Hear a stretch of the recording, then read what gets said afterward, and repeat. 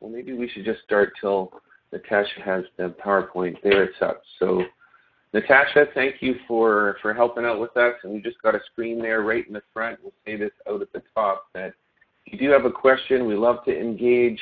This is live for those of you who are listening in, so you can ask a question there or chat down the sidebar. There's a beautiful picture of me and Cory, and clearly, oh, you know, yeah. beards are in Cory. Like you had yours first, uh, and, you know, I had to follow. So, so yeah, for those of you who don't, looking uh, yeah.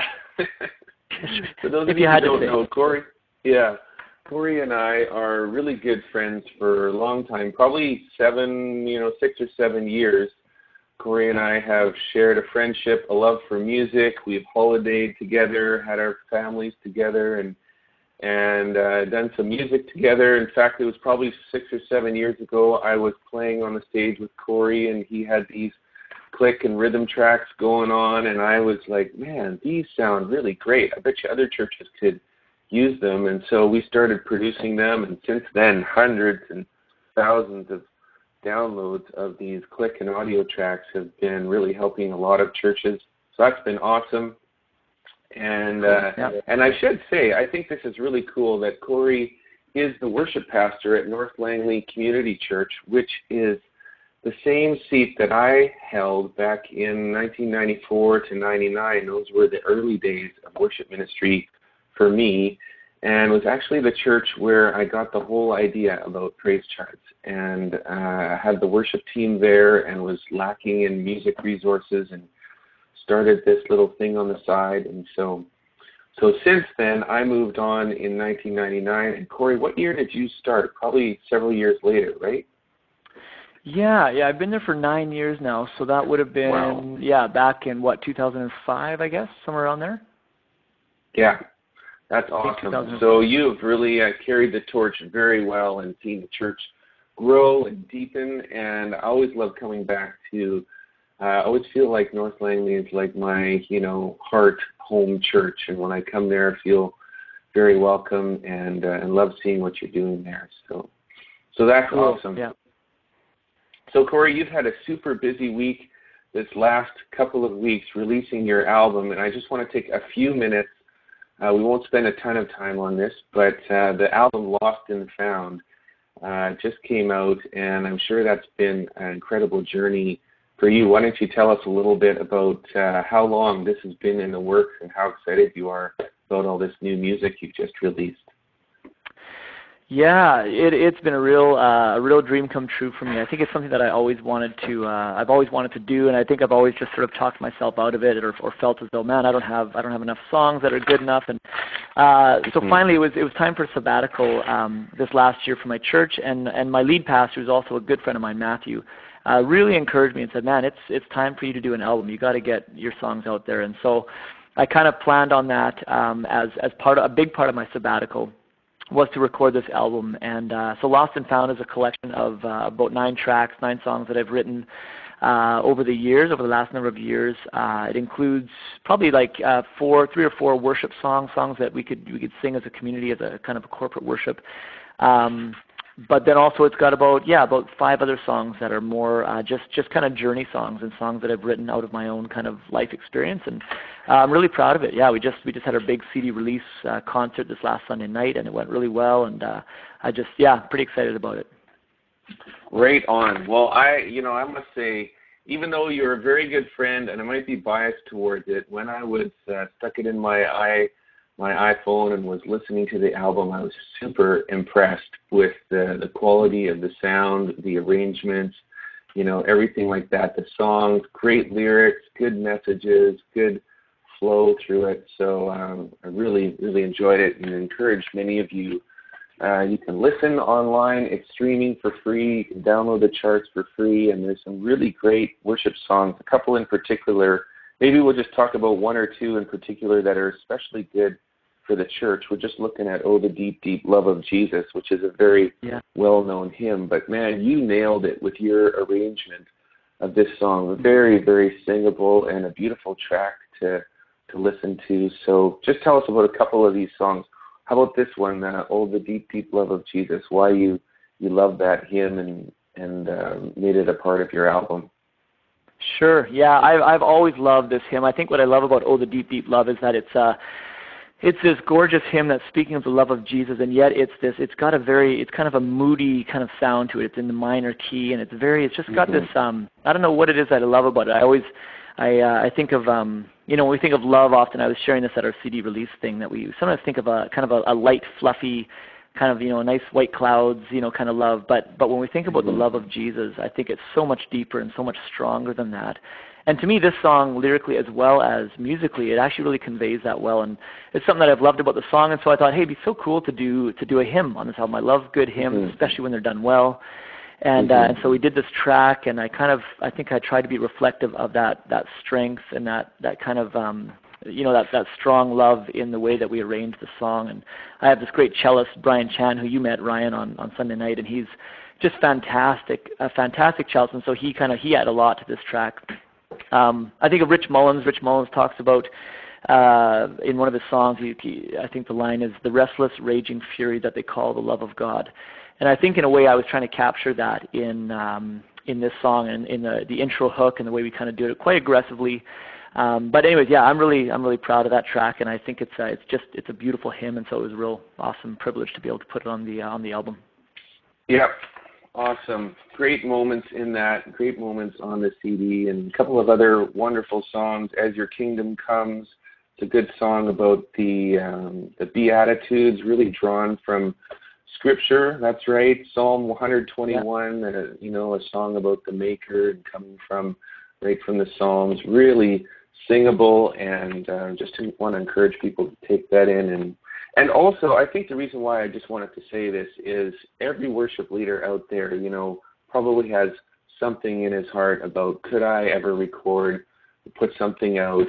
You know, I'm not signed by a big publisher and all that kind of stuff. And we really live in an era where it becomes possible. And you were kind of like that person, Cory, that it's like mm-hmm. you've never really done this. You're not really a traveling, touring artist, but you have – uh, you know, a gathering of people that you shepherd and pastor as a worship pastor, and this has become a real extension of that ministry for you. So I think you want to just be an encouragement to other people to say, you know, if you've got some songs and you have a gift like that, that it's really worth it to take the time and and record them and, and do all of that. Hey, Cory. Totally. Yeah, you know, that's very true. And I think for me, it was a big part of it was just having someone, having people around me encouraging me, and that was that was a big part because I think we always, especially as musicians, I think we tend to second guess ourselves, and we, you know, we might think, well, I'm not, I'm not, you know, Chris Tomlin, or I'm not Lincoln Brewster, or I'm not Paul Baloche, but mm-hmm. you know, having, I think God's given you and God's given me a voice for the community that He's put me in.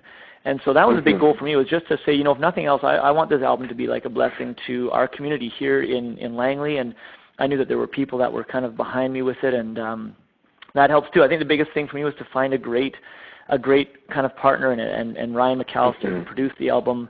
That was a key thing for me to find someone that could take kind of my ideas and say, Hey, let's let's we can we can go even further with this and I can you know, someone that will be able to translate what you bring what you're bringing uh, into something yeah, just that sounds really mm-hmm. awesome and that uh yeah. So it was it's been yeah, a fantastic really process and, yeah, for sure. Awesome. And then Cory and I went down to the river, which is about five minutes from where he lives, and recorded these videos, one for each of the songs, and told the story about the songs. So those are all on YouTube. It gives a little bit of a background there. You can go into PraiseCharts as well as you see on the screen. And so it's nice to have a bit of uh, the heart and soul behind those songs. And again, that's another thing I think I was really trying to encourage Cory when he did this album to say, let's just go out you know, basically you take the iPhone and you know we had like a cheap camcorder, you know, and, a, and an iPhone and put a nice little video together that told the story of the songs and um, and I think it's a it's really nice uh, way to to capture your heart with all of that. So, so way to go, cool. Cory! Congratulations Thanks, to you man. for that and all that you put in. And I know I am super encouraged by seeing you do that. So we want to talk now about worship rehearsals. This is the you know that time either middle of the week or desperately one hour before Sunday morning services or whenever you all have that time, you know, to answer the question, can we pull this together? as a band. Sometimes you come together as a band and you know people don't even know each other or other times they've been playing together for years. There might be personality issues going on. You know, some people, there's musicians all over the place. Uh, some are super skillful, some are less than skillful. There's so many dynamics to uh, think about. And as a worship pastor, you land on the stage and you're like, how am I going to pull this group together in the next couple of hours so that we can hmm. um, play on Sunday morning? So, Cory, you are the one that brought this topic to me. Why why is this something that you wanted to talk about? Why do you think it's important to you know to think about how to pull off a really great worship rehearsal? What's in it for you for this? Yeah, no, I think you know I just I have a, a growing kind of passion for uh, just for pursuing excellence in our worship. And I think, you know, for me, part of it came from just like a, a what what felt like a need that was growing around me. And I I had a number of conversations in the last six months just of of guys and, and pastors at churches that are saying like, how do you like you know, I feel like our musicians, they've got great hearts for worship, really good people. They love Jesus. They they you know they want to serve him but they just don't they don't really have the tools and, and worship doesn't sound great on sunday morning it doesn't really it's somehow some, there's a miss here and so they were like, how do we like how do we not even talking as much about the theology of worship or the you know the the heart of worship, but how do we actually just the practical side of things? How do we get a good rehearsal? How do we um, you know make sure that we've got something that's that's um, bringing people into uh, you know the throne room of God, and that is um, reflecting mm-hmm. God's beauty. How do we actually do that in a practical sense? And so for me, it just made me. It was good. I, I so I've spoken at a couple different things about that at different events, and I I just it kind of forced me to sit down and write out like, yeah, what do I you know when I'm when I'm preparing for a rehearsal, when I'm running a rehearsal, what are the things that are important to me? How do I make sure that we are offering you know the best that we've got um, to our community and to the Lord on a Sunday morning. And so that's that's kind of where this came from. I just I kind of jotted down a bunch of ideas, and I've done a couple of different clinics on this, and it's uh, it's like I said, it's a growing passion for me. All right, so I'm ready to dive in. We've got a whole bunch of points, and they're super great, very practical. There's the first one right up there. So tell us what uh, what you mean by band and worship leaders need to lead with a capital L. that's right, in in yellow for that matter. Yes. Um, that's right. You know, I think this, and maybe this feels like a no-brainer to everyone, um, but it's I think it's it's not necessarily. And so, I think when I say that, um, my big thing is like you know, take if you are if you're the worship leader, if you're the band leader, uh, take that role seriously. I think um, again, often we, we maybe we second guess ourselves um, as leaders, and maybe you're in a situation where you're in a church and you're you know you're you're supposed to run a rehearsal, but you've got you've got people on your team that are older than you that have more experience musically than you do, and you just feel kind of like ah, a little sheepish about it. I think my encouragement is to say, you know what, if you're called to lead, then you have to lead. You've just got to take that role seriously. Mm-hmm. And again, I've had others that have said, well, we don't really have a leader. You know, we, we kind of get together and we just kind of jam and we work it out, and then Sunday morning it, it kind of comes together. You know, and I'm like, well, maybe maybe it comes together, and that's great. But I I'm convinced that uh, the best possible outcome is going to come from having a strong leader, or at least a leader who's being really intentional about what he or she is looking for in a rehearsal. And you know, I remember when I was uh, probably 17 years old, and I was leading one of my first experiences leading a band, and I was um, very new at it. I was a decent musician, but you know, I had like you know, I suffered from ageism. You know that uh, condition where you're like, oh, everyone around me is older and they're yes, more experienced. Yes. And who who am I, right? Who am I to lead this band? And so I remember being really passive in my in my leadership, and I was you know kind of like, well, guys, what do you think? Like, what? Let's try this and you know, what do you think of that? Is that does that sound does that make sense? Is that good or no? Maybe not. Maybe we should try. You know, and just kind of stuttering through the rehearsal. And finally, the this bass player who had far more experience than me, and he had a bachelor of music, and I remember being like, oh my goodness, like he's way better musician than I am. He finally was like, Cory, like he was getting annoyed. He's like, will you just lead us? Like you're the guy who's supposed to. Can you just lead us?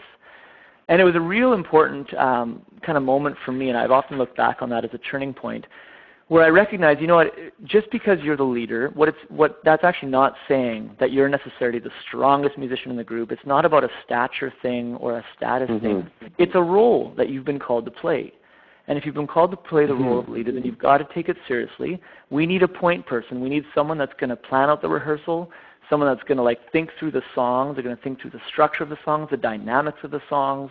They're going to think about how long the rehearsal is going to go how should that rehearsal, you know, like all that plan, make sure the charts are readable, make sure we've got good keys, Um, just really aware of, of hopefully how this thing is going to go, and then being the point person, just kind of resting on that uh, the leader's shoulders. So, I mean, we could talk for a long time about this, but that's to me, it's a really important thing for us to take super intentionally. If you're the leader, make sure you're leading.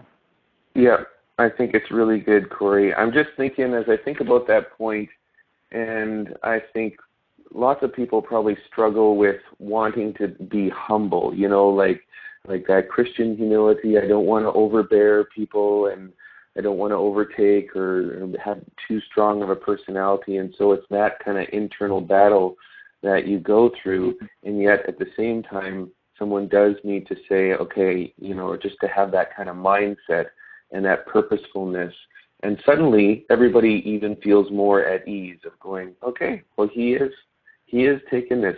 I do actually I have a memory of one time when I was leading uh, this big, you know, citywide thing, and I had another very strong worship leader who was um, who was with me, and I just remember him kind of making some, um, you know, comments during the practice, and I was like, wait a second, who's actually leading this? And I just had to decisively take some authority in the practice, like this is mm-hmm. the direction that I want to go, and and it's not doesn't have to be a battle, and it's okay. In fact, it's a lot easier when someone does do that. So so it's really good. It really is. As part of serving your community, like that's that that helps yeah. well, right? If you're thinking this is this is for a bigger picture than just what we're doing right now. Yeah. Okay, number two. Right. Okay. Yep. Sometimes you just got to pick one contender. That's right. I think this is a.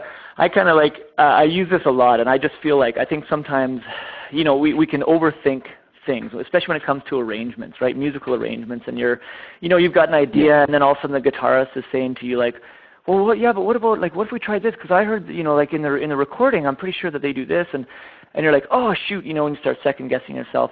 Like my philosophy is, listen, there are like 150 right answers here there really are. There's yes. like so many right yeah. answers when you're arranging a song. Your job as the team leader is to pick one of them, right? Just be again being intentional and saying, "Yep." So w- the thing that that frees you up, uh, the area that frees you up in, is that you're not necessarily saying, uh, "No, guitarist, that's a horrible idea. My idea is right and your idea is wrong." Actually, it's not right. what you're saying. What you're saying is like you could be saying, "Hey, that's a really cool idea. I think this time we're going to go with with this. I actually have a I kind of have a vision for how this is going to end up. So we're going to go with this. But that's cool. We maybe we could try that next time or or something or whatever. You don't have to say that, but the idea is just that listen, we're not necessarily shutting down everything else as bad ideas. We're just saying there's lots of options here. We have to pick one of them. It's like those mm-hmm. uh, remember those choose your own adventure books. I don't know if when you were in high school if you had those, but we had those. There's there's lots of open doors here, and you get to decide which one you're going to go through. That's mm-hmm. the role of a leader. Yep, very good, very good. Okay, I'm going to keep us moving through. Some of these we'll settle more into, and uh, so number sure. three. So start and end with an easy and accessible song. That's a good practical suggestion. Yeah. Yeah, this is one of those things. Again, a lot of these are, uh, or some of these points are, are more subjective than others. This is what I have mm-hmm. found um, is is really helpful in my rehearsals. Like again, I think through our rehearsals and I think about kind of how they're going to go. I'm thinking, okay, we've got like, you know, about two and a half hours here um, to rehearse. We've got about six songs to go through. So what I will often do is I'll want to start off um, on a good foot. You know, first impressions are lasting impressions, and so yeah. uh, when I'm thinking like, you know, hey, so chances are we've got we've got a couple guys here who maybe you know maybe they're feeling a little intimidated. Maybe it's been a month since they've played. They're feeling a little nervous, a little bit, oh boy, you know, hope I do well it's always helpful to start off on a good foot. And so to say, hey, let's, you know, for us it might be, this is Amazing Grace, let's say by Phil Wickham. Well, we've done that song a lot in the last couple months. I think everyone on the team knows it really well. It's just a great thing to start off the rehearsal where we all kind of end the song and we're like, ah, okay, you know what, that sounded good, that feels good. I think I played that well. Like that sounds like, yeah, we're doing okay. And so just psychologically, it's like, okay, we're off into a good kind of, we've got a good vibe going here. Uh, we're feeling pretty good about ourselves. Um, it's just it's a helpful tool as opposed to starting with something mm-hmm. that's just grueling and it's hard, it's unfamiliar. You know, you kind of end it, it's a bit rough. It's like okay, well, it's you know, and people are feeling a little less sure of themselves. I always think it's good to start on a good foot, and then I, I kind of bookend my rehearsals that way actually. So I'll start off with a song that that we all know pretty well, that we know we're going to sound pretty good on. Uh, we do that, we feel great about it afterwards, and then we're off to the races. We're going to dig into some other stuff. And then at the end of the rehearsal, yeah. same thing. Like I don't want to end with a song that is just going to be. I know it's going to be a tough one because again, as a leader, I've thought it through. You know, the days before, I've been thinking through it. This is going to be a tough one. We got to work hard at it. I'm actually going to. I'm going to end the rehearsal with a song that we're all familiar with. That we're going to. I know that we're going to play it pretty well. We're going to, you know, end the rehearsal and, and walk back, you know, out of the church into our homes, and we're going to feel good about the way things went. Because there's nothing worse than having a great rehearsal and then the last song kind of sucks. You know, you're like, oh, I just, you know, everything was good, and you kind of walk away. And, you know, I used to say those my Wednesday night rehearsals can make or break my week, and that, yeah. uh, you know, I don't think that's quite as true anymore. But maybe we've all experienced that when you, you know, you end rehearsal and it's like, oh, that last song, it's just like that did not come together very well, and then you kind of leave and everyone's feeling a little bit dejected and a little bit down. So instead, I'm like, hey, let's make let's try to do our part to make sure that we are we're feeling good about things. We feel like everything's in hand. We know what we're doing. We end with a good song. We feel good about it. We say, hey, we'll see you guys Sunday morning. And it's yeah, it's just a good. I think it's a good practice to kind of mm-hmm. uh, really keep things positive. I'm also thinking it's probably a good idea if you communicate to your band this intention because then you know if you tell them we're going to do this, then when you start into that first song, you know they're not thinking I already know this. So why are we practicing this song that we've done, you know, 10,000 times? And and if they realize that the intention of it is to pull the bands together, even to just start on a note of worship, like we're not really practicing this song. We're we're just entering into a spirit of worship here with a song that hopefully you're familiar with and setting a tone and creating that tone. So so I think totally and it good it serves a number of roles. Like I think that's exactly like what you're saying, Ryan, and it and it, it serves that role. It can also serve like even a sound check kind of role too, right? For the, right. for the sound, you know, whoever's your sound guy. So he has a chance to be like, okay, they're playing, the band is playing confidently here. Uh, you know, I know this is kind of this is this is the height at which they're going to play. They're going to be, you know, everyone's digging in pretty good. So he can do a good sound. He or she can do a good sound check. It, I think it's just a it, there's a positive side, a number of positive sides to it. Mhm. Well, I've got a few questions coming in, so I think I'm going to intersperse them if that's all right. I'm going to put you on the spot. Natasha, we won't go into number four quite yet. Uh, so Cameron asks, would you make any adjustments to a successful rehearsal when working with teenagers? Oh, cool. I'm just trying to find that here, actually. I see Cameron uh, Okay, cool. Um, sorry, and the question I don't see here, but the, the question that's was. That's all right. I've got the questions. I've got the questions coming in to me. So um, yeah, he just and I know Cory, you have worked with younger kids, uh, even your own kids. You know, ten, eight, nine, ten, twelve, thirteen. You've got uh, youth worship teams going on. So, how do the dynamics maybe change with younger folks? Oh, yeah, totally. You have to. I mean, in some ways, this will tie into another point we're going to talk about in a little bit as well. Hmm. But definitely, I think that I will always be thinking about the context that I'm going to be in. Um, and so yeah. if I'm going to be going into a rehearsal with like this last, so for this last weekend, for instance, with the CD release party, um, like I knew that I was working with like top-notch musicians. Like my expectations of how the rehearsal is going to go is very, very different than if I'm heading into a rehearsal with our, our Ignite group, which is our grade six to eight uh, younger yeah. um, group here in our church. And so yeah, you have to be realistic about your rehearsal. You have to think through, um, like so. I may not, uh, I may not pick a song in the key of D flat. You know, if I'm doing um, a rehearsal yeah. with these guys that are that are younger, right? You're thinking, okay, these are maybe some greener musicians here. Um, again, my goal in those situations, and I think as as I get older, maybe a lot of us, like you, you know, I have a real heart for these for younger musicians that are just starting out and I want them to feel just, I want them to feel great about what they're offering and what they're doing. And so I'm going to do my part as a band leader to make sure that we are feeling like, hey, this is this is a great offering. Like we're doing something really good here. We're making something beautiful together. So mm-hmm. I would be very intentional about thinking through the arrangements. Nothing super complex. I would say, and by the way, like I think complexity doesn't necessarily mean awesome, right? It just means complex, and that can be a good thing or not so good of a thing. And so I would think let's go a little bit simpler with the arrangements. Let's uh, mm-hmm. let's make this really accessible for the musicians. Let's let's set everyone up to win as much as possible. Mm-hmm. Um, totally. So that's what I would be. I'd be definitely thinking that way for sure. I'd be adjusting depending on who I'm working with.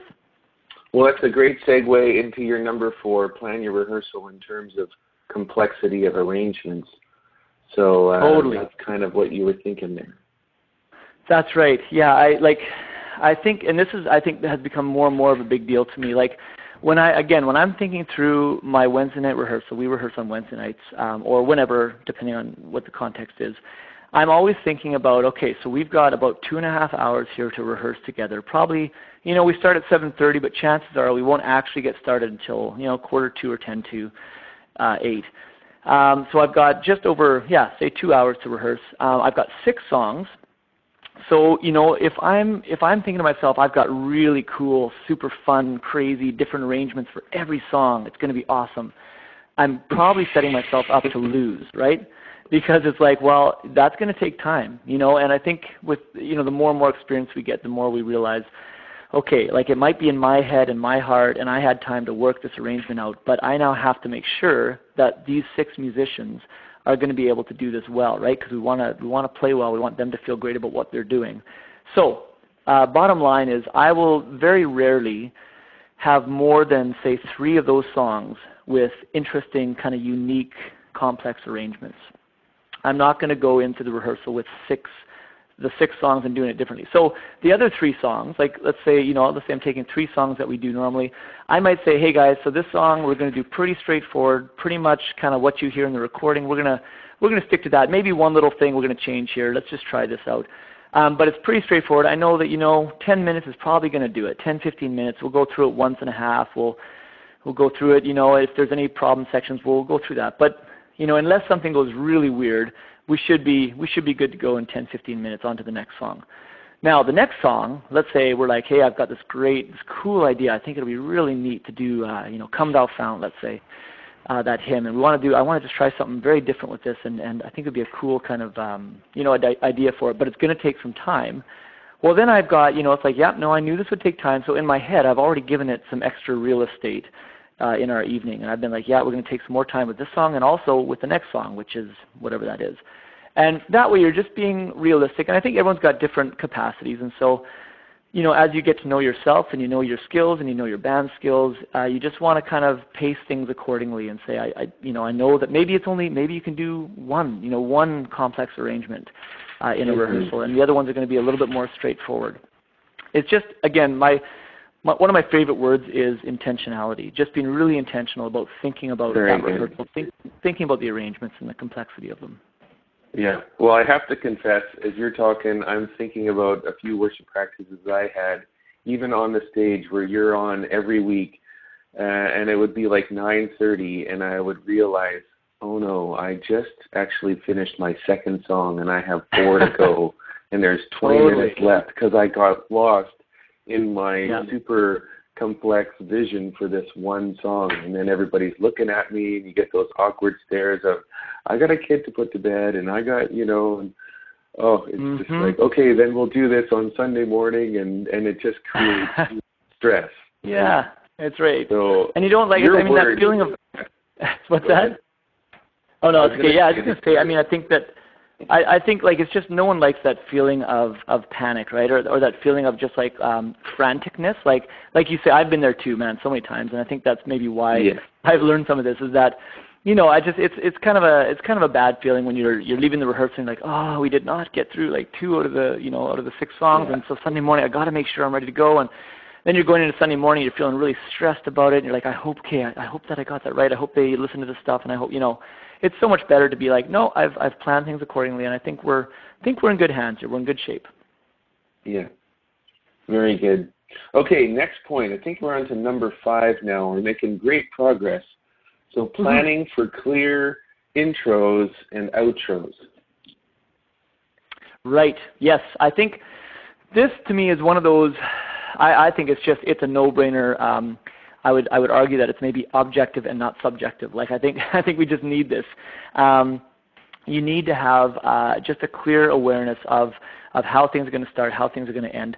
I've seen it too many times where maybe uh, maybe younger band leaders, uh, greener band leaders, um, you know, they'll they'll kind of just say, okay, so this song is, you know, here's here's how it goes, and and they'll just kind of start playing, and slowly everyone kind of fades in and starts kind of catching on where they are, and then, you know, and then they do the song, and by the time the end of the song, it feels pretty good. It's like, yeah, we got a good vibe here, and then suddenly they're on to the next song, and I'm like, whoa, hang on, hang on, like you, you guys, you do not know how you're starting the song yet.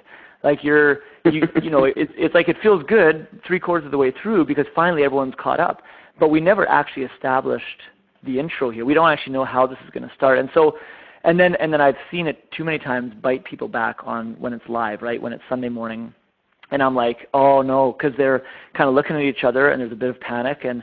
So then the you know the piano player might start playing and then the guitar sort of comes in, but he comes in at the wrong place, and because we never actually decided, here's how we're starting yeah. the song. Same with the endings, right? It's just it's those moments which again I'm sure we're all familiar with when it's like here comes something and suddenly it's like oh my word I I don't know I don't know what we're doing here. I, I forget. I don't think we ever decided how to how to end this, right? And so I think it's it's one of those really key musical things that is just so important. Make sure you know how you're going to start the song, and even if it is just a simple no-brainer start, maybe it's just if like I lead from the piano, so it might just be where, hey guys, I'm going to start this one, uh, and actually it's okay for you. You know, as I come in, let's start with piano and acoustic. Um, bass guitar, uh, I wouldn't actually come in until you hear, you know, the vocals, that first verse. Why don't you come in on the downbeat in the first verse? Drums, you know, let's let's mess around with it a little bit, but I think it's fine. Even if the drums come in halfway through the verse, that's cool, or whatever. But again, you're just saying you're giving some instruction for how that's going to go. And then again, our congregation, like what we do on stage, is always contagious right? So mm-hmm. nervous people make people nervous, and confident people make people feel confident. And so if yeah. you're leading with if you're leading with confidence, people are going to feel like, okay, I'm in good hands. But if you're leading from a place of, of insecurity or a place of a little bit of nervousness because you don't know how this is going to go, you don't know where it's going, well, people feel like, oh, maybe I'm not in good hands here. I'm not sure, you know. So I think, yeah, um, yeah being really, really clear on our intros and outros is, is a super important thing. Yeah, really good. I'm just going to flip over to a question that Todd was asking. Sure. Do you pre-plan the song order of verses and choruses, or do you use hand signals and play it by ear during worship? Uh, so I'll assume that, that Todd is talking about like in, in terms of the live worship um, yeah. sort of setting. Yeah. So what I do is no, I typically will plan uh, verses and choruses. Like I'll plan kind of the order of that.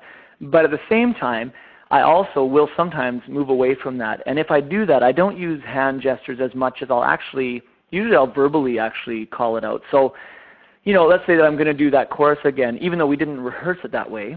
Um, by the way, just to back up, I will often tell my band that. I'll say, hey, so this song, you know, I'm think we we may actually do that chorus a couple times, but for now, let's just we'll just go straight to the bridge.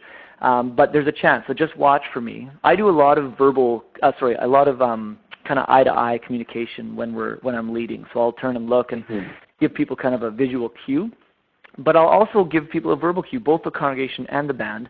By saying, you know, so this is amazing. Sorry, I keep using this as amazing grace, but you know, at the end of the song, all that I've done for you, and, and just kind of like you know, yell, "This is amazing grace. This is amazing," and it gives people, it gives the band actually a couple seconds to get that downbeat as well. Um, but so yeah, no, I will often, I do plan out verses and choruses and kind of the order of the songs with room though to uh, to change that up and actually just to, and I'll try to be really clear. I think that's the key is to be really clear when you do decide to change it up. Um, you know, verbally calling that out, um, or yeah, that's I usually verbally call it out. And, and again, I give kind of people a look uh, on the band if uh, in on the stage there if we are going to repeat something or do something a little bit different. Mhm. I think that when it comes to communicating the direction of a song, the real important thing is do you have a way of clearly communicating with your band members. So if it's hand signals, then great. And then, you know, do yeah. they know what three fingers or two fingers or one finger or the fist or the, you know, everybody has their own kind of unique thing. If you have a guitar, some people like if they lift their guitar fretboard or lower it, it means different things. You can create whatever language you want. Just make sure that your band knows and, and maybe talk about it. You know, like when I do this, this is what I mean. And uh, and yeah. then I really agree, Cory, that sometimes there's just nothing wrong with a very clear vocal signal that everybody can hear, even the congregation, that everybody knows yeah. where you're going, and it leads to uh, confidence. Like I know where we're going, and we're going to go there, and we're going to all be together, and I, my voice isn't going to stick out because I started singing the chorus and you were going into a quiet verse or you know kind of thing. Yeah. So so that's really and good. Some, I, and I think that some songs lend themselves easier than other songs to doing like to being a bit more spontaneous. Like it's it's one thing to hit, you know, as you're ending a chorus, uh, you know, if the decision is if you're gonna if you're gonna repeat the chorus, you're gonna hit the same chord that you would normally hit at the end, as opposed to if you're going to a bridge and that's going to be a whole new chord. Suddenly, it that then there's a lot more potential for a train wreck, right? If you're like, oh, um, yeah. you know, suddenly it's like I have to decide which chord I'm going to hit here. So it part of it again is just thinking through that. Um, even sometimes in the moment, right? It's like, well, this we could actually totally repeat that chorus, and no one's going to get messed up because we're actually landing on the same chord either way, right? So we're okay if I just mm-hmm. vocally start leading that. So yeah, totally, I agree. I think people Very good. start to get your uh, your language together. So. Okay, number six, set the vibe right from the beginning. What were you meaning by that? Mhm. So I feel as though um, my my kind of philosophy when I when I lead uh, a band is that from the moment I step into our worship center for the rehearsal night and I see, you know, a few of the musicians getting warmed up, uh, they're tuning up or whatever, I feel like um, I take responsibility for the vibe of the rehearsal in terms of just the, the mood of things. Um, and maybe I'll start off by saying sort of a, a negative example of this could be where, and I've seen this before, and often more with, again, younger or greener leaders, where you know if I'm observing the rehearsal, I see the the band leader, and maybe you know maybe he or she's in the corner, um, hanging out and just like kind of laughing and joking with with one of their one or two of their friends that are also in the band, uh, and just kind of doing their thing, and you know it's a bit of a clique thing happening, and meanwhile you've got the you know the poor drummer over there and the guitarist who's just kind of standing there and tuning because that's what you do when you feel like you have nothing else to do and you're kind of out of it. So you know tuning his guitar. And you know and I can tell already that there's a bit of a sense of there's not a sense of family, right? There's not a sense that we're doing this together. There's, it's more like, well, this person, the band leader is comfortable with those three people, but not as much with the others. And so, anyways, that's a that's a kind of a specific example. But for me, I make a point of um, of actually like hanging out a little bit with the band beforehand, and even if that's just a sentence or two, just making a point of actually kind of greeting each musician um, and asking questions about the maybe stuff that I know from you know, hey, how's your mom? I heard she was in the hospital, right? Like, is she doing okay? And yeah, okay, okay, I'm glad to hear that. Hey, man, I'm so glad you're here. It's gonna be fun this weekend. That's it, you know. But but again, what I'm doing is I'm making a point of saying like, you matter more to me than the role that you're filling this weekend. Like you, right. you and I are actually we have a relationship outside of this as well, and so it's just setting the mood, um, setting the the tone of family together. We're we're doing this together we've got a, a, a mission that we're actually going to accomplish together, all six or seven of us, including the sound tech, including the media tech and lighting tech, whoever that is. Um, we're all doing this together. We've got a common goal, and so let's make sure that we're setting a tone that feels as though we're all invited into this. It's not just you know a cold kind of task thing that we're doing, but we're we're going to do it together. So yeah, I make a point of talking to each musician, uh, each you know whoever the tech uh, people are, uh, just greeting them ahead of mm-hmm. time, asking how they're doing. Yep, starting things off in a good Great. kind of yeah, good vibe. I keep having that word ringing in me about be intentional. Everything seems to come back to this for me that you're thoughtful, mm. you're intentional, you're not just it's not just happening, right? Uh, mm-hmm. and you're, you're thinking about what you're doing and why you're doing it all of that. So totally. really good. Yep. Well, Cory, lots of questions are coming in, and I think we're going to have time to get to a number of them here. So, uh, so Robin sure. is asking, and you can just shoot from the hip answering these. I know you didn't really prepare for this, but uh, here we go.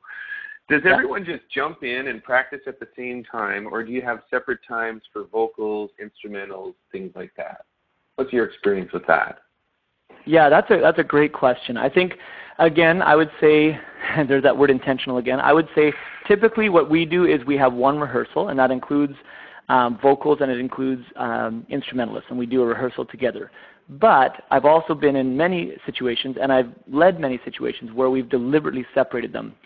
Uh, our typically on a Sunday morning, I have myself. Let's say I'm leading worship, and usually like one other vocalist, maybe two other vocalists. Um, but because our vocal arrangements aren't typically really complex, and that's intentional on my part, I, I'm not a huge fan of, of really complex vocal arrangements. Actually, not that I'm a fan. We just don't do it a lot. Um, then I don't I don't feel too concerned about making sure that we you know have a separate rehearsal. However, if we do have like we have a big event coming up called Making Spirits Bright, and it's um, it's our big kind of Christmas production. That's going to have lots of complex vocal arrangements. For that, we're probably going to have a number of separate rehearsals um, because of the fact that we just just the arrangements call for it. We just have to we got to do it that way, or it's you know again being intentional, trying to make sure that we all we get as much bang for our buck out of people's mm-hmm. time. People are busy, yep. they've got families, and So, but no, typically on a, for a Sunday morning we have one rehearsal.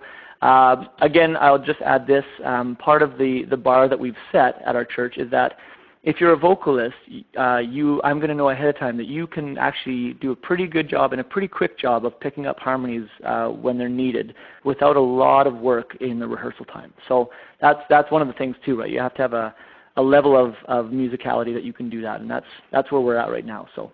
Yeah, yeah, really good. Okay, Jim asks, at what point during a rehearsal do you decide that a song just isn't working and decide to bail? How does this impact your Sunday planning if that song was the key song to a worship set? Yeah, that's a great question. Um, I've had that uh, a few times for sure. Um, I think that yeah, I think you know. Like I think there there have been times. Um, it's it's been a little while now, and I think as again as you get more and more experience doing something, I think you hopefully you get a, a you know better awareness of how things are going to go and what's realistic and what isn't realistic. But there have been times for sure when it's like you know this somehow this isn't working. Um, it's pretty rare that I've abandoned a song. What I've done though is I've abandoned my idea for the arrangement. Like I've I've been like you know what we got this is a great especially if Jim as Jim's saying like you know if we're that's a pretty key song for the for the morning um, I don't feel like that option is a good one to, to abandon the song unless it's horrible, unless we just cannot get it. Um, mm-hmm. In that case, I would have in my back pocket um, a really simple arrangement of it, something that we can definitely we can pull off. That's not going to be too complex. Um, so that would be my short answer. If there was like if it was a song that's actually not simple, just just the way that it's made, let's say it's a Geddes tune, you know, or something that's a bit more involved, or like a, you know, I'm thinking of Israel Houghton or something where it's like, ooh, okay, this there's no real super simple arrangement of this. Then yeah, then there might come a point where it's like, you know, we've spent 40 minutes on this. We've, we're already getting close to the, you know, the time. We we're, we still have three songs to go. Then then at that point, maybe you just have to say, you know what, guys, honestly, I think we need to leave this. Like, I think we need to. Uh, that might be a, a moment where I'd say, leave this with me. Let's go on to the next songs. I'm gonna I'm going to think this through for Sunday. I'm going to talk to you know our lead pastor about it, and uh, and it'd probably be one of those things where like, hey, we're going to put a we're going to put a simple song in there instead, and we're just going to have to try this mm-hmm. again some other week. Yeah.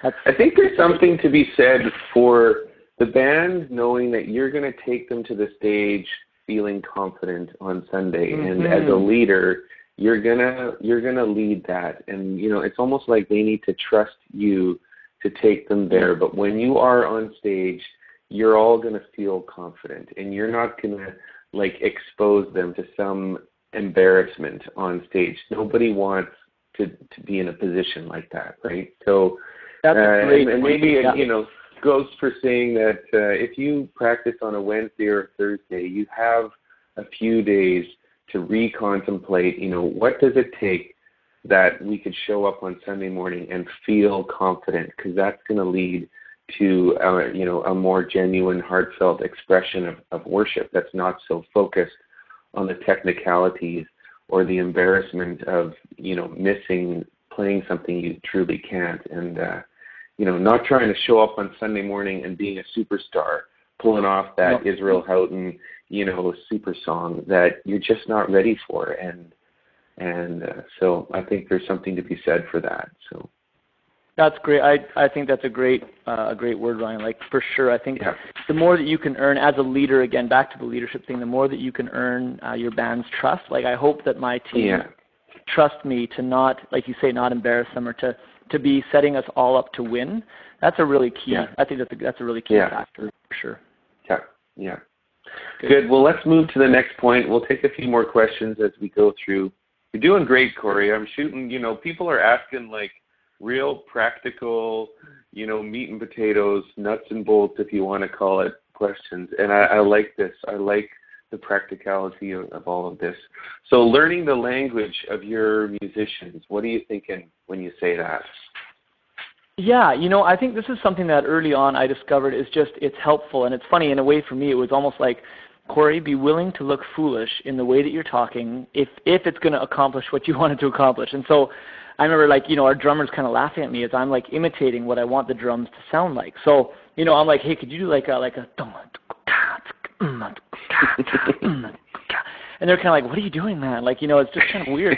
I think I think the team's pretty comfortable with it now because I do it all the time. But but it's just it's finding a language that will help people understand what you're looking for from them. Like it doesn't do anyone any good if you're saying to the guitarist, um, yeah, like you know, I like yeah, it's good. I just it's not I was thinking something different. Like you know, uh, that doesn't help, right? It's like, okay, you're thinking something different. So, but if you could say, hey, you know, that's cool. Like, I was actually thinking of something more aggressive. Like, do you have any? Could you put them to some distortion on that? And I'm thinking actually instead of melody stuff, could you give us some some crunchy power chords? Like, like I'm kind of hearing something really aggressive, almost kind of angry sounding. Do you have anything like that? Like, and they'll do it, you know, and then being really picky about it and be like, ah, it's close. It feels like I think even more like how about just big wall of sound, like something muscular and crunchy and just aggressive, you know. And so I mean, it's kind of funny, but right away the guitarist, as I'm talking, he's he's getting it. He knows what I'm talking about. I'm looking for something that's that's strong, that's probably distorted, that's like kind of big and in your face, like it's just using that kind of language that really helps people to to kind of get what you're trying to describe. I'm not a great I can I can hack on the acoustic guitar, but I'm not a I'm not a great guitarist, but I think that I, I've learned how to hopefully help people understand what I'm looking for. And even if you're being specific and saying, you know, hey, do you know that song? Uh, you know, for me, it's like, do you know that song by Emmylou Harris? Uh, like, I just love the tone that one, Red Dirt Girl. You know, the guitar, it's got this, it's really kind of vibey and it's got a bit of grit to it, but it's got some delay in there and reverb, like something that's really kind of far off sounding. And you know, and we're kind of going back and forth and and find it's like, yeah, yeah, yeah, that's it, right there, that's the one. Could you do that? Like, that sounds so great. Um, so just finding uh, finding the ability to speak the language and you know of of, uh, of the musician and helping them understand what you're looking for, as opposed to generalities where you're like you know. I don't know, just something a little different. Like maybe, uh, you know, I don't know. I just, I think because I hear that often uh, in in in uh, rehearsals that I, you know, where I'm observing, I just I feel like, oh, that's I don't think I don't think you're setting that person up to win. I don't think they have a clue what you're asking for. Um, mm-hmm. So again, I would say, Ryan, there's that word again, being intentional, even ahead of time, thinking, mm-hmm. what am I imagining? What am I imagining for the guitarist in this song? Like, what am I? What's my dream for this song? You know, like if if by the end of the song it's like that was exactly how I imagined it. What would that sound like? What would the drummer be doing? How would the like what would the the vibe of the song feel like? Um, you know, and even just using like this last weekend we did "You Alone Can Rescue," and I mean this is a small example, but I was like, you know, in my mind I'm thinking, hey drummer, so let's use um, brushes. I'm picturing actually like a gentle bluegrass kind of feel. So right away, gentle bluegrass kind of feel. Well, we're thinking kind of a, you know, it's going to be a cut time, but he's going to be using brushes. So I think right away people have an idea. Oh yeah, okay, I think I see probably where this is going. Uh, and I'll play a bit on the piano and we kind of work it out. So, anyways, I think just the idea is is thinking through how will you communicate what it is you're looking for, um, without just using kind of general general terms. Yeah, it's good. I think as worship uh, leaders, you don't have to know how to play all the instruments in your band, but you do have to know how to communicate with all the musicians in your band, and and it it might take a little pre-study to be like, so what you know, what does a bass player actually do? You know, uh, what kind of sounds does he make? You know, slap, pick. Totally. You got to learn some language there, and uh, and then learn about you know when the eyes light up with your drummer and he's going, yeah, I get it. Well, then totally. you're speaking his language. So very good. Okay, number eight. Yep. Learn the art of selfless playing. Yeah, yeah. This is that. um did we talk about uh, maybe we didn't even I don't know if this is part of it or not, but like the uh I'd said I've said before, like, you know, the the greatest players um they can play it yeah. all, but they rarely do. Yes, um, that was a good. This quote. idea that you get, you have amazing musicians. When you see like an amazing, um, you know, musician. I'm not talking jazz here because jazz often they they do play it all. but you know, in, in terms of our, you know, worship context and pop context, and what usually what what our churches are about. Um, like musically. It's you just have these great musicians, and when you hear what they're doing, they actually will often leave a lot of space. Um, and it's a, to me, it's a mark of a, of a really mature musician, someone that's willing to be selfless in their playing, as opposed to selfish in their playing. And so, um, even though in that moment, and we've all been there, like I know I've been there, and I have to, I still fight this myself when we're we're playing, and you know, and it's just a great chord progression, it's a great key, and I'm like, oh, like I know I could just, I feel like I could just fly with this, you know. Mm-hmm. But the thing is, it, it, it's not going to serve the song, right? It's actually going to take away from the song. It's going to saturate the song. So instead, actually, I would rather complement what's going on, and just think through how can I be, yeah, how can I really serve um, the song here, um, musically speaking. And so, uh, yeah, just being selfless about it. I think and it's often again I think it's it's when you're maybe maybe when you have greener musicians or younger musicians that are learning how to play and they're and they're actually their chops are coming up, they're doing really well, they're getting better and better. I think the yeah the temptation is just to be like oh man I could fly on this and so and so they do right. Um, and they're they're playing like just really really busy and, and everything's like there's there's uh, eighth notes everywhere and arpeggios everywhere and and it's just like hey hey you know I think like if you did if you did like you know a third of that it would be great. You know like just pull back. We need to give some room here. Like there's there's six of us. The more musicians that you have typically the less you're going to play. That's a good kind of rule of thumb right? So yep. yeah i think the art of selfless playing is something that develops over time but let's as band leaders let's just keep encouraging our musicians to be yeah thinking you know think of space. Space matters as much as the notes. So we want to be uh, really careful about that and really intentional about that yeah I think as a worship leader, you have to you have to teach that. You have it's almost like you have to sit down and go, okay, guys, you know, even beyond the specific song that we're doing here, this is a you know a character quality that we want to develop as a as a band, and, and you know it, that way you're not singling any one person out, but just just uh, developing that maturity in your in your band members in that that outlook. So that's really good. So I got a question you know, just, from. Go ahead. Oh, go ahead. Yep. You want me to go? I'll go. Um, yep. I was just going to say, I would just add to that, like I think uh, this is maybe a, a, a no-brainer kind of thing too, but like um, it's always just so important as a leader to be, like you just kind of touched on it now, but to be really, really careful about how you're communicating to your team. Like when you, when I say be a leader, be a strong leader, like that's really important, but but you never ever want to be like a dictator kind of abusive yeah. leader right? You want to you want to be really careful how you're saying things and not dishonor someone or embarrass them in front of their peers right? Because that's that's the worst thing especially you know music is such a vulnerable thing. So just being really careful about saying like hey you know what? I i think that's cool what you're doing. Do you think like I'm, it feels a little bit busy. Like i wonder if you could maybe just you know pull back a little bit and you know using that kind of softer language is actually helpful and it and it's not disempowering it's not dishonoring anyone. It's just sort of saying here's what we're looking for. Um, i still value you. It's you know it's not like you did bad. It's just we're just trying to find the best outcome here. So yeah that's all i wanted to say. Mm-hmm. just be careful with your language. That's good. Okay, one more question, and then we've got one more point, and we're uh, we're uh, pulling out the landing gear here, Cory. This has been really great.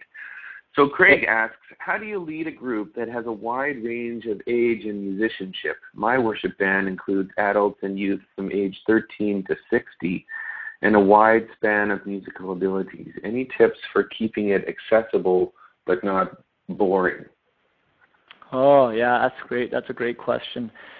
Um, I think, yeah, like to some degree. So, uh, this, yeah, I, I'm, I'm not a black and white kind of guy. I would say to some degree, though, you you are stuck a little bit with the lowest common denominator, um, but it doesn't mean that it has to be uh, bad or or like you know overly simple or anything. I think that you have to work with you know your um, depending on who obviously and, and to be honest, it will depend on who the musician is. Like if you've got, let's say your weakest musician is a drummer that's actually a far bigger deal than if your weakest musician is a bass guitarist, in my mind. Um, I always, to be honest, my thought is that if you, if I had to pick on the stage, if I had to pick who's going to be the weakest musician, I would actually probably say I'll take the bass guitarist as the weakest musician. Because in my mind, at least in the in the genre that we're playing and in the context that we're playing, if we can get those, you know, the the kind of the root notes that we need, obviously it's so great to have a great bass guitarist, but um, but yeah, that's going to change things. If it's a really, really weak drummer, well, then that really will limit you in terms of what you can do and what you can't do. Um, mm-hmm. So I would say, like, yeah, I would say think through, try to, whatever you're doing, do it well. And so maybe it's going to be like, yeah, I, I gotta, I gotta do a pretty simple arrangement here because we do have, you know, our drummer or this person is is quite weak, and I know that they'll they'll have some difficulty being able to get there with this. Um, but I would also I would also be trying to push them, uh, even even like take them aside afterwards and encourage them and say, hey, you know what? I see like I, I think you're doing great. I see a lot more in you. I, I would love to see you, uh, you know, work on this and this. And even by Sunday, man, I feel like that one section you could do like you could take that up a notch. And man, I think people love to be pushed. I think they love to grow and they love to be believed in. And so I guess mm. yeah, maybe the short answer is yeah, you got to work with what you have, and so that might mean a little bit of a simpler arrangement. And then it might also mean talking to some of the more experienced players and encouraging them to encourage the greener players and say like afterwards say, hey, listen, thanks so much for your you're doing awesome and I really appreciate you doing this. Like you're you're great. Hey, if you can you know encourage uh, you know Bob there. He's he's he's new at this and I you know I'd love for us to be taking this up a level and he's still he's still working on it. But man, the more you can encourage him, I think it just it, it really makes him fly, you know, when you do that. And so I don't know, kind of working together. Um, maybe it's starting off that way, but I think there's man, there's no greater joy than when you see uh, a young green musician over time start to develop in, in their musicianship because of the people that they're playing with who are always lovingly challenge, challenging them further, calling them further musically. Man, it's a great thing. And then, you know, suddenly it's like, hey, you you did awesome. That was so good. Like, way to go. And we've come a long way together. Sorry, that's kind of a long, random, sporadic right. answer, but I, yeah, I think it's good. It's really good. Okay, last point, really, really practical, nuts and bolts like, but uh, watch out for competing melodies. That was your number nine. Right. Yeah. this is uh, this maybe ties in in a way with some of the other points, but we have like so. For instance, we have a, a team with a violinist, uh, a lead guitarist, uh, piano player. That's that's me often. maybe an accordion player, depending on the on the Sunday. Suddenly, you've got you've got these four instruments, let alone vocalists, that have the capacity and the potential to be playing melodies. Um, I think again, it's just it's really important to be very careful about having too many melodies going on at once. Um, so I will often, not that we can't have it. I know that there's there's definitely room for having a few different melodies happening, and you know our lead guitarist will sometimes, you know, at the last chorus we're ripping it up and it's a big song, and he's suddenly he's like soloing over top as we're singing, um, and sometimes that's great, but sometimes it's too much. Like sometimes I'm like, you know, I don't want I don't want a lot of competing melodies with, with the actual melody of what we're singing. Um, you know, or our violinist maybe I'll I'll say to our violinist, you know, this this is a great chorus. I would love to have you like I really want the melodies, you know, to shine here and actually be like the only thing that's going, not not to have other melodies that are competing with it. Maybe at the end of the phrase you could do something, you know. So if you we, we finish that phrase, you kind of fill it in and we do the next phrase and you're out, but then fill it in at the end of the phrase. Um, just because you know sometimes what happens is like if everyone's playing um, a really great sounding melody at the same time, where it's just suddenly it's really complex and it's it's it's a little bit cluttered, it's a little bit messy, uh, and it doesn't sound. It's just not a good clean sound. It's not what we're looking for. So. Um, so yeah, I'm always trying to be very aware of that, especially when you have melody instruments, like more than one melody instrument playing. So I would just be very watchful of that and very intentional about how you're kind of uh, planning that arrangement and then speak into it too. Like when it's happening, say, hey, you know what, uh, Lisa, that sounds great. Could you let's get you to to maybe actually in the in the chorus there, could you pull out and maybe just come in at the end of that phrase, just so we're not having more than one kind of melody happening here at the same time. Really good, really good. Well, uh, lots of questions have come in. In fact, more than more than normal. I think people are really being lit up by this whole topic, and uh, and you've been very practical very uh, insightful, Cory. So thanks for all that you have been sharing with us. I have this thought that we're going to formally wrap up our time here, and then afterwards we'll just do a little bit of informal chat for maybe five minutes. There's a few people chatting on the sidebar, and we can answer a few quick questions, things like that. But sure. I uh, just wanted to thank you, Cory, for taking the time with us. This is, you know, Tuesday morning. I know it's a big day for a lot of worship pastors as they're getting ready for Tuesday, Wednesday, Thursday rehearsals and heading into the week. And hopefully, this can be an encouragement to many of you listening in. I do want to encourage you about Cory's album. It's a real sort of demonstration of Cory's heart for worship. Uh, he's very much, uh, you can almost tell that Cory doesn't like to think just linearly and you know, he's got uh, many thoughts going on, even theologically. He's wrestling with some things. You know, I'm, for sure the album is theologically sound and pure, but it's not simple answer kind of songs. These are songs that wrestle with with difficult, you know, life themes that go on. And so uh, I hope that you can use some of those in your in your churches. So that's all found at praisecharts.com forward slash lost and found. And again, there's the, the videos. You can hear the stories behind some of the songs and, and all of that. So, so thanks, Cory. Hey, Cory, at the end of these webinars, I often like to invite my guests to pray for those of us who are listening in. So would you do that? Would you just lead us in prayer for um, all the worship leaders and pastors who are listening in and they got worship practices this week. Let's just pray for this week that there'd be something that would light up and uh, and be an encouragement for them. Totally, yeah. I'd be So I'll give it to Thanks you. so much, Ryan. Yeah. Okay. Yeah. Uh, yeah, Heavenly Father, we're just uh, I'm just so thankful that um, that we can gather together like this online. Uh, thanks for technology Mhm. and uh, the abilities to do this. And uh, Lord, I do want to pray for all the, the different worship leaders that are that are on right now with us. Um, God, the the musicians. Um, Lord, we uh, we're wanting to uh, to honor you and to lift you up. We wanted to honor our communities that we're leading worship for.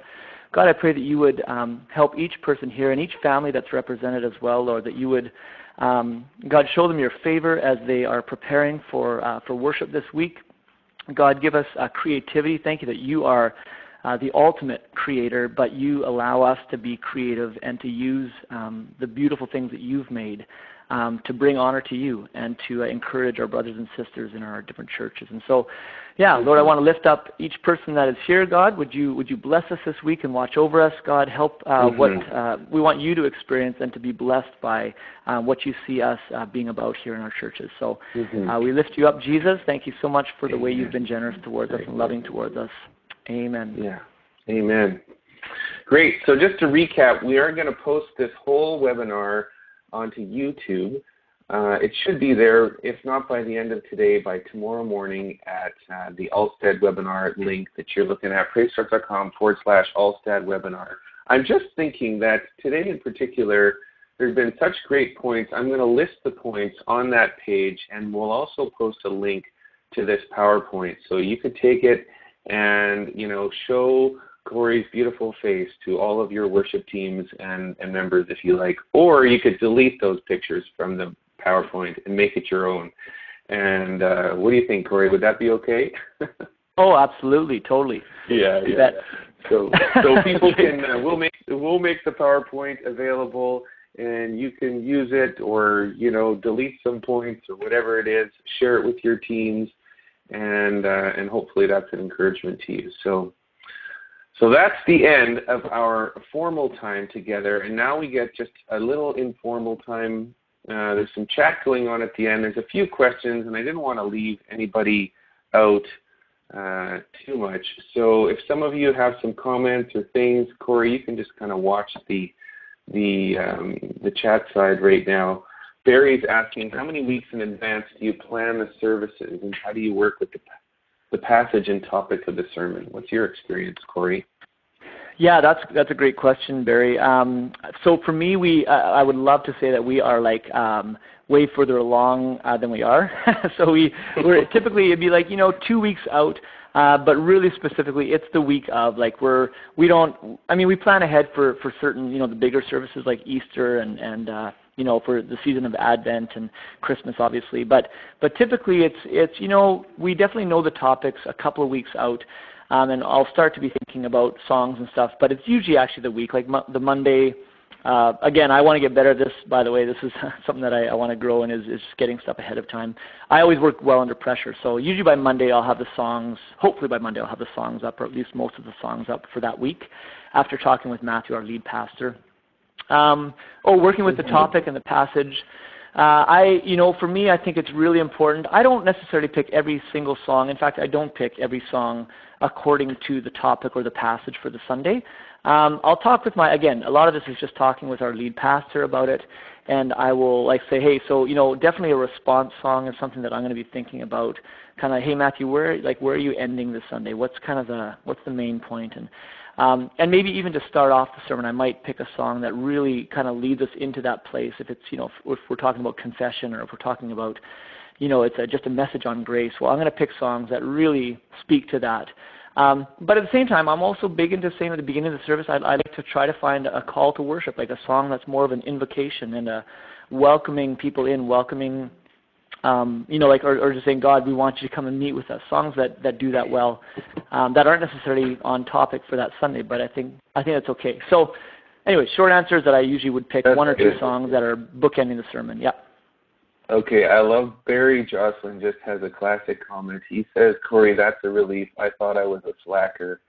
I am working to get two to three weeks out myself. It's just impossible sometimes. So So there you go. You're encouraging all the slacker worship leaders out there that you know they're they're better than they think they are. That's exactly. And, yeah. Lee's got a good question here. Okay. I See, go ahead. Uh, read it Lee out. Soto. Yeah. So Lee is asking, how do you deal with team members resistant to being led?